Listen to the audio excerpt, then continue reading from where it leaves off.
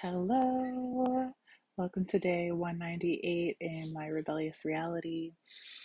I titled this Life Design as Desired. So, Something interesting that happened yesterday is that I've been designing Brian's website, which is now up and running.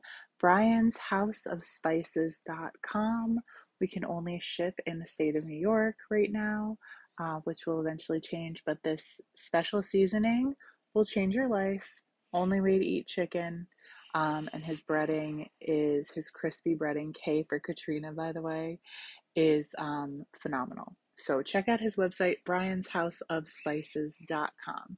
I designed it and um, I was having an issue uh, setting up the shipping for it because he's got these two different products. They're both different sizes, different weights. We have different boxes.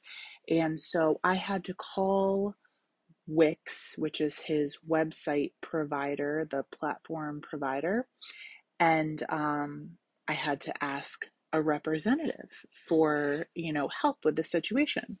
So I don't know if this is like with every company, but a lot of times that I've had to call for technical issues lately, whether it be um, Verizon or AT&T or Wix, whatever, it's like these people, there's so many different things that can go amiss that they don't you know they can't really help me. They have to like put me on hold and go ask somebody else and then put me on hold again after they clarify and go ask somebody else and come back. So that's what this guy isaac was doing who helped me. Super duper nice guy.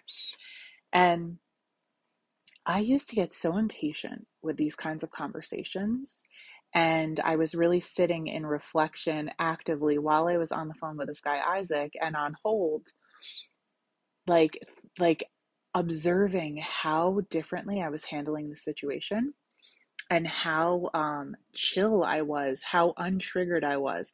I don't know what it was about. I would just get so fucking triggered in conversations where I would be expressing what I needed and I couldn't get the answer right away. So, anyway, I I find it was really interesting because it was almost like I was like watching myself handle this. But at one point, you know, he had put me on hold and come back a couple times. And um, I had expressed to him that I have these two different size boxes. Um, and I need to be able, in order for me to get the, the calculated shipping rates accurately, I needed to be able to almost assign products to these different um, box dimensions in order for the shipping price to calculate correctly. And I was doing my best to explain all this, you know. And then he found this one. He's like, Well, if you do it this way, you can do it. But the way that you're trying to do it, it just doesn't have that option. And I just so nonchalantly said to him, Well, I can't, you know, I, it was something along the lines of, Well, I need to be able to set the shipping up this way. And I said, There's gotta be, he was almost telling me, like, there's just no way to do it. Like, you can do it this way, but you can't do it the way that you need it done. And I'm thinking my, and I'm just, I just said to him, I was like, Well, um, I said, I've dealt with other platforms. I said I've dealt with Shopify. They have apps that will allow me to to do things different ways than like the actual platform has it set up. And I was like at the end of the day, your company exists to help me design the website that I desire. And there has to be a way. And I wasn't rude about it at all. I just like it wasn't it was just so like matter of fact like there has to be a way you know don't tell like don't tell me there isn't a way there has to be one let's find it. This the only reason your company exists is to help me do this right? So i got off the phone and i'm just like really sitting with like this whole conversation and like how i felt myself handle this conversation. And then I was like, holy fuck, this is an acronym for life or a metaphor for life. Like, I feel like, and I heard this this uh, term yesterday, toxic overculture.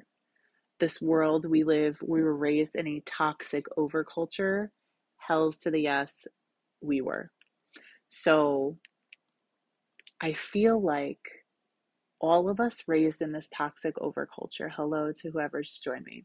All of us raised in this toxic overculture have basically been told so many times that we can't get whatever we want, like exactly what we want. Like, well, I want to do this. No, you have to do it this way, or or it can't be done, or whatever.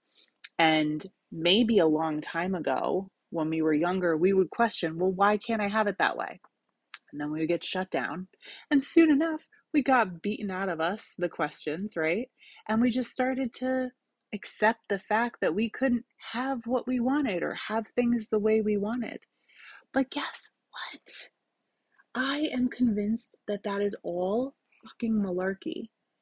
I am convinced that this life actually exists, just like Wix exists to help me create the website that I desire. This life exists so that we can create the life that we desire. And I think that's fucking amazing. My only problem is that I can't figure out exactly what kind of life I want to create. Um, and other people might have that problem too. But this is my message for today. And uh, yeah, see how it feels. See how it feels to listen to me say that. And uh, if that's the case, if I'm correct and this life exists so that we can create the one that we desire, I encourage you or invite you to begin thinking about the kind of life that you desire. What would that look like? Because we can't manifest something, we can't attract something necessarily. Well, we can. We can attract things that we don't know about, but like if we want to pull something in, we can also pull something in that we literally desire but we can't do that if we don't know what it is, you know?